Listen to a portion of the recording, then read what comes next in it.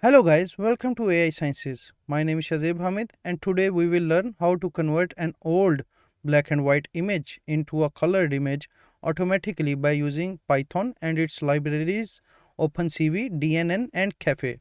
This project takes a black and white image as its input and returns an automatically colored image as the output. To proceed, with the further explanation on the coloring of black and white images using Python, we need to download three files. Colorization release version 2, colorization deploy version 2 and and pts in hull.numpy it is an, an, an numpy file that stores the cluster center points in numpy format. Now you can download these files from the description attached. I have already downloaded it. So now let's begin the step by step explanation for the conversion of black and white image into a colored image. First we need to import libraries and install OpenCV. So if you don't have OpenCV just uncomment this one and you will be good to go. After running that the next step is to import libraries. So the three libraries that we are going to use is NumPy, Matplotlib for plotting and computer vision library which is OpenCV and it is imported as CV2. The next thing is we need to name the image that we are using.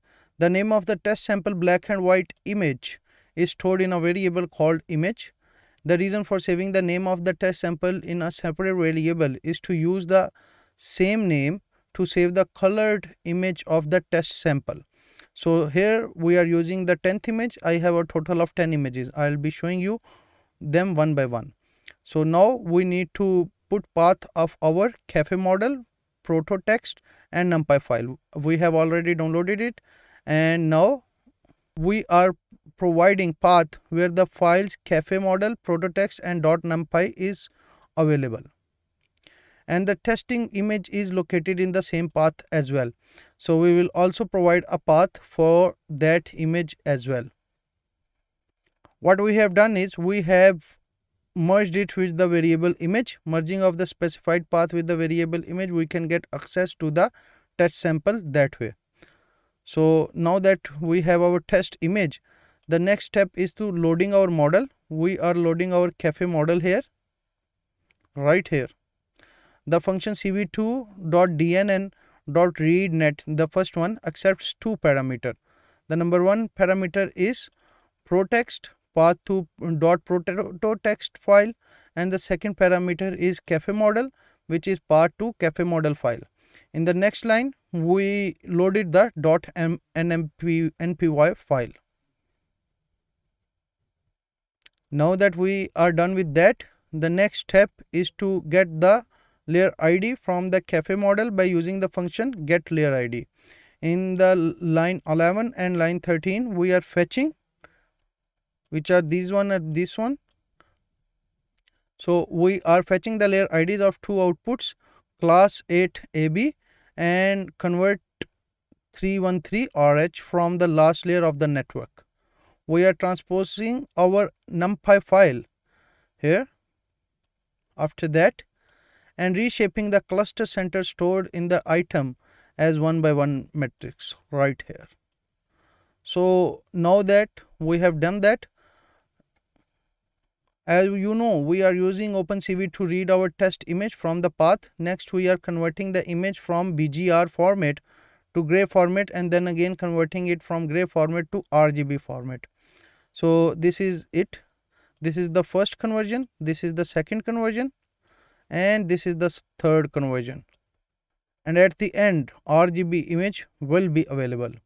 After conversion process we are using matplotlib here to showcase our image and to print it.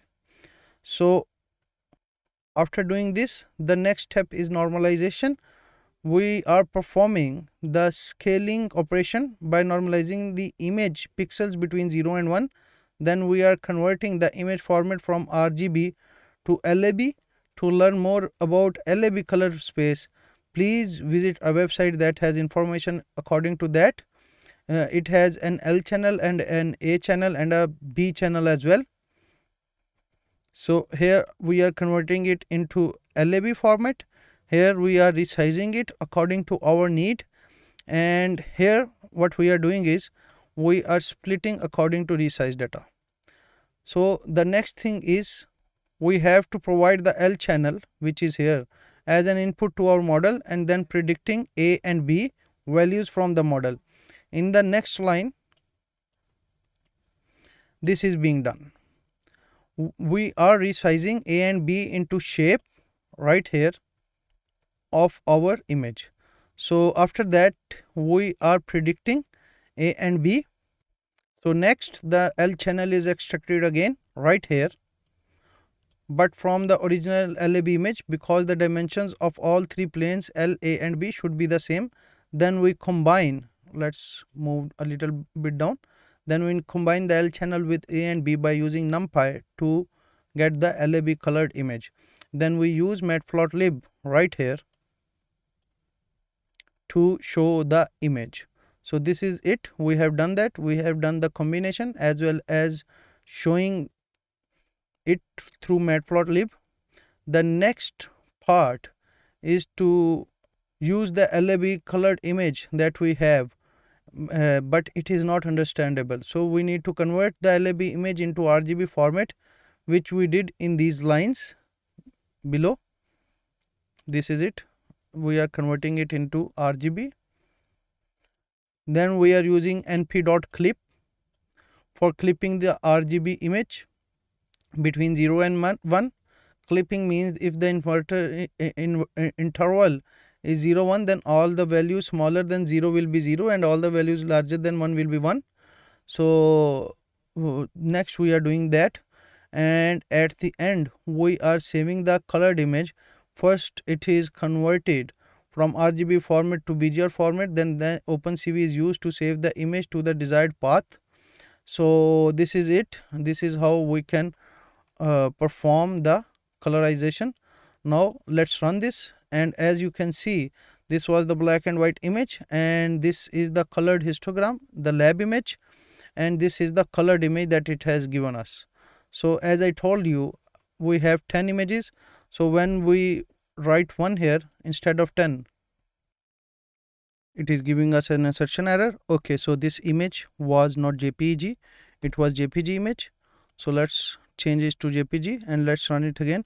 So this is it. We have colorized this image as well.